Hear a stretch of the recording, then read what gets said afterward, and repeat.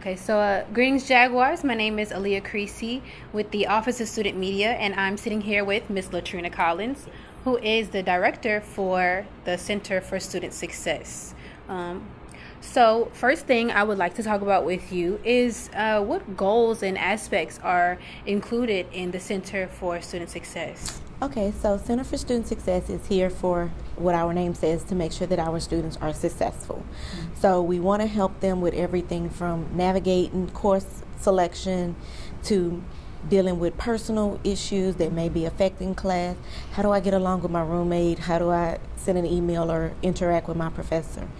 Um, when they leave us, we want to know that they are able to be productive adults a lot of students come in and they come in as freshmen and they just do what all adults say because that's kind of what they used to doing.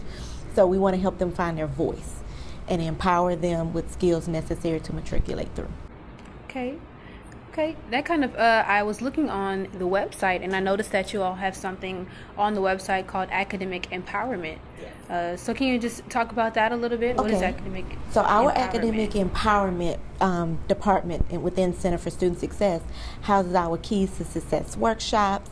It has other little workshops that we're going to branch out to, to include just like um, groups for freshman students coming from out of state, being able to have some other people that are from out of state so that they can kind of connect, you know, a less intimidating way to make friends and things like that. It also makes sure that they are aware of their curriculum. They understand they can follow it, they know how to pick it out, so that that way, if one day Ms. Collins retires, I want to know that my students are able to do things and carry on themselves. Right, right. Um, and you did you mentioned the uh, other programs that are going on. So can you just tell me a little bit more about the programs? Uh, what what's all included in those programs? And okay, so our Keys to Success workshops it has uh, workshops on like study skills and time management, our traditional things. But then we have workshops that talk about how to use Google to organize your life, mm-hmm. to help them to identify how to use the Google Calendar and how to set alerts for themselves. We have things like interacting with your professor. A lot of our students are unable to communicate to their professors when they need help. They feel a little intimidated. They don't know what to say. So we have things like that. Uh, another one that's really popular among students this semester is how to read your textbook. Because students come and they see this humongous book and they're mm-hmm. told, hey, we're going to cover four chapters on the first test. Yeah. And it's like they're completely lost with how to identify what in that book mm-hmm. they need to remember and what they don't. So we do things like that. Um, another thing we offer is learning style assessments so that we can help students identify their learning style, which then we can connect it with how they should study, how they should take their tests, and things like that. Okay, that those all sound like very good aspects. Um, I was wondering as you were speaking if uh, other students, like just not just the freshmen, but uh, juniors, seniors, even int- uh, international students, um, you know, are or are those is that open for all of the? Yes. All of the programs within Center for Student Success are open to all students. All students. The thing that we do that kind of sets us a little bit of apart when people think about first year students mm-hmm. is we do the advising for first time students. And so that's students with zero to 30 credit hours, whether they be coming straight out of high school, mm-hmm. transferring from another school, or readmitting.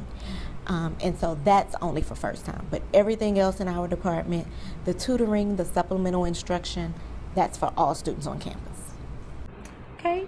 Uh, you speak very passionately about this, so uh, I was just wondering what um, inspired you to want to be the director of the Center for Student Success? Okay, well, I like to say that I've had every job in Center for Student Success other than the administrative assistant role. When I came in uh, 2008, I was the academic counselor. And so I came in, and my whole job was to identify students that were at risk or had already failed and were coming back to school on an appeal, and what ways to help them matriculate and get back on track. And that's kind of where that love started because I was able to meet intimately with students and realize that a lot of them were just lost. There were things that happened, life, you know, I tell students all the time life doesn't stop because you're in college. And so when life happened, they didn't know what to do. And it's hard for someone to say, well, why didn't they ask for help? Because to ask for help, you have to know, number one, what question to ask. Mm-hmm. Then you need to know who to ask. And on our campus, that's kind of been a little confusing for certain students. What, who do I go to for this? And so, my idea was to have a Center for Student Success where you can at least start with us. We may not be able to answer everything, but we can at least direct you to the right resource. So, you, so we're the first line of defense. Okay. Um, and can you tell me where the learning centers are on yes, campus? we have several with a new one coming. So we have a learning center in Stewart Hall, room 155.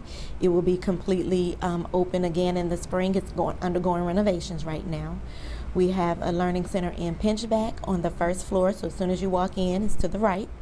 We have a new learning center coming for spring in T.T. Allain on the well it's the second floor but as soon as you go Yeah. in um, and then we will also have a writing center coming on the fourth floor of the library for the spring.